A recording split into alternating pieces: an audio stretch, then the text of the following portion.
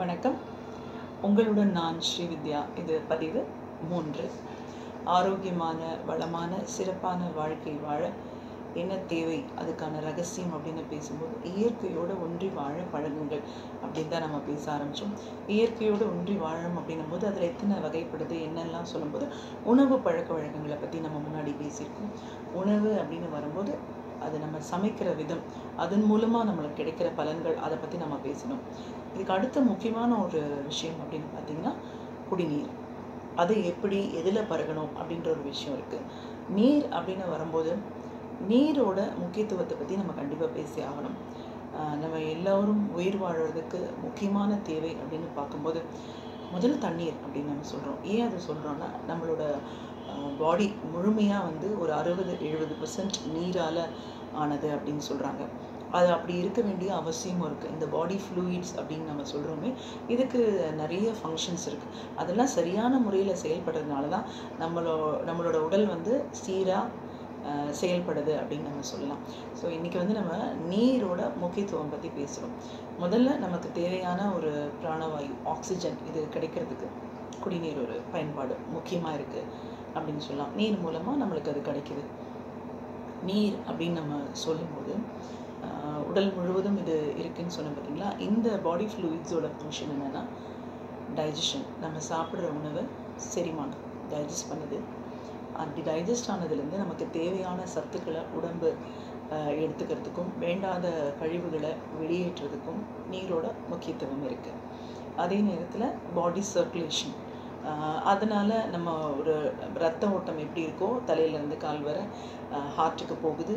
Veins மூலமாக உடலில் இருந்த மற்ற பாகங்களிலேருந்து ரத்தம் வந்து அழுக்கு இருந்ததுன்னா அதெல்லாம் இதை இருதயத்தில் கொண்டு போய் சுத்திகரிக்குது. இப்படி மற்ற பாட்டுக்கு போகிறதுனால நம்ம உடலில் இந்த சர்க்குலேஷன் ப்ராசஸ் அப்படின்றதுக்கும் ஃப்ளூயிடோட பங்களிப்பு ரொம்ப முக்கியமானதாக இருக்குது வாயில் உமிழ்நீர் சுரக்கிறதுக்கு செலைவாக இது வந்து நம்ம சாப்பிட்ற உணவு முதல்ல டைஜஷன் அண்ட் அப்படின்ற ப்ராசஸ் வந்து வாயில் நம்ம சுவைக்கும் போதிலிருந்தே ஆரம்பிக்குது. இட்ஸ் அ கிரைண்டிங் ப்ராசஸ் இது இங்கேயே இருக்குது அதனால தான் நல்லா சுவைச்சு மென்று முழுங்கணும் அப்படின்னு சொல்லியிருக்காங்க. அப்படியே ஸ்வாலோ பண்ணக்கூடாதுன்னு சொல்கிறதெல்லாம் நம்ம கேள்விப்பட்டிருக்கோம்.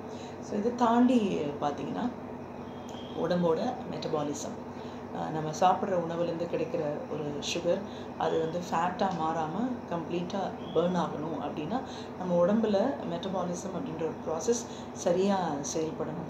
சரியான முறையில் நீர் இருந்தால் மட்டும்தான் இந்த மெட்டபாலிசம் நம்ம நீரை ஒரு நாளைக்கு இரண்டு லிட்டர் தண்ணீர் குடிக்கணுன்றாங்க இந்த மாதிரி கரெக்டான ப்ரொபோர்ஷனில் நம்ம தண்ணீர் குடிக்கும்போது அது மெட்டபாலிசமை இன்க்ரீஸ் பண்ணுதுன்னு சொல்லலாம். இப்படி மெட்டபாலிசம் இன்க்ரீஸ் பண்ணுது அப்படின்னா அதன் மூலமாக நம்ம கொழுப்பு சத்துக்கள் குறையுது. ஸோ இப்போ நம்ம அழகு பற்றி கூட பேசுகிறோம் ஸ்லிம்மாக இருக்கணும் ஃபேட் குண்டாக இருக்கக்கூடாதுன்னு நினைக்கிறவங்க ஃபஸ்ட்டு தண்ணி குடிக்கிற பழக்கத்தை கொண்டு வரணும். இந்த ப்ராசஸ்லாம் நிறைய விஷயங்கள் இருக்கலாம்.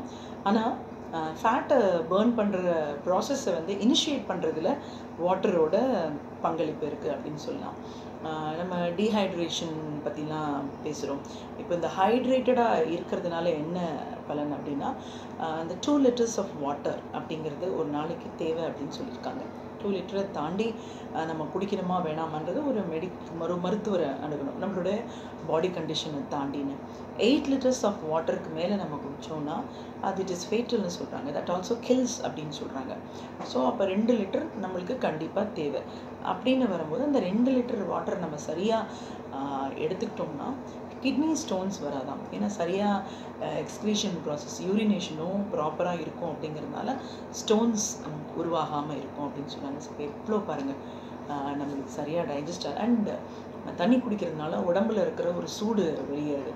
உங்கள் பாடியை சரியான ஒரு தட்பவெப்ப நிலையில் ஒரு பேலன்ஸ்டாக வைக்கிறதுக்கும் நீர் வந்து ரொம்ப ரொம்ப ஒரு முக்கியமானதாக இருக்குது இது சரியான முறையில் நம்ம எடுக்கலைன்னா எவ்வளவோ காம்ப்ளிகேஷன் சொல்கிறோம் கான்ஸ்டிபேஷன் வரலாம். ஒரு மலைச்சிக்கல் அப்படின்ற ஒன்று வந்துச்சுன்னா அது உடம்புல எவ்வளோ மற்ற பிரச்சனைகளை உண்டு பண்ணணும்னு நிறைய மருத்துவர்கள் சொல்கிறத பார்த்துருக்கோம். ஸோ தண்ணி நம்மளுக்கு எவ்வளோ அவசியம்? காலையில் எழுந்த உடனே எம்டி ஸ்டமக்கில் வேறு எதையும் பருகிறதுக்கு முன்னாடி ஒரு நீர் அப்படிங்கிறது குடிநீர் த பருகணும்னுவாங்க. இதை வார்ம் வாட்டராக இருந்ததுன்னா அது பாடி கிளென்ஸ் ஆகும் அப்படின்னு சொல்கிறாங்க ஸோ கம்ப்ளீட்டாக ஒரு பாடியை பேலன்ஸ்ட் கண்டிஷனில் வச்சுக்கிறதுக்கும் இருக்கிற முக்கியமான நுட்பமான பொருட்கள் சிறப் சிறப்பாக சீராக செயல்படுறதுக்கும் அதன் மூலமாக நம்மளை ஒரு ஆரோக்கியமாக அழகாக வைக்கிறதுக்கும் குடிநீர் முக்கியமான பங்களிப்பு. இப்போ இந்த குடிநீரை மண்பாண்டங்கள் மூலமாக குடிக்கும்போது நம்மளுக்கு இன்னும் எவ்வளோ ஆரோக்கியம்?